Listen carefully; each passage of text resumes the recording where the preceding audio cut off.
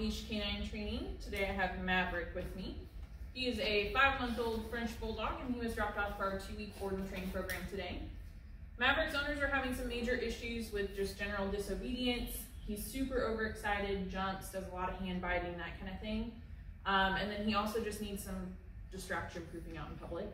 Um, but let's just see what he'll do for me real quick. Maverick,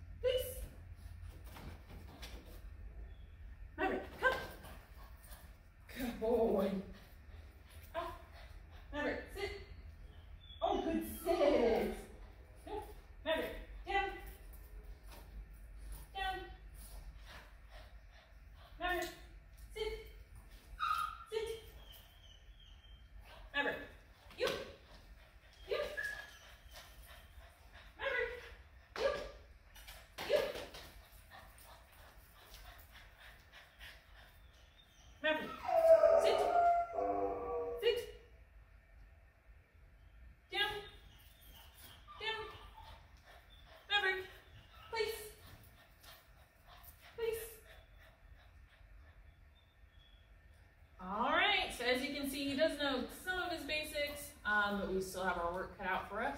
Check back in two weeks.